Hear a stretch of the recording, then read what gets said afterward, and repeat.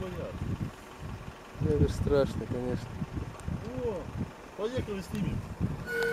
Все нормально.